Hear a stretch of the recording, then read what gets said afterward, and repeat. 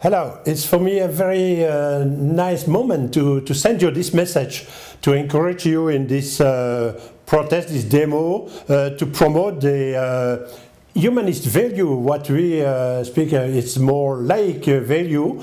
But I may tell you that in Europe today, in Belgium in particular, the humanist movement is not so uh, in tradition to make this kind of uh, exercise that you are doing today in London. And uh, I will send you all my best wish for your initiative. And I hope that one day we can protest all together in front of the European institution, the Parliament, the Commission and the Council of Ministers to tell them how to promote a Europe of humanist value.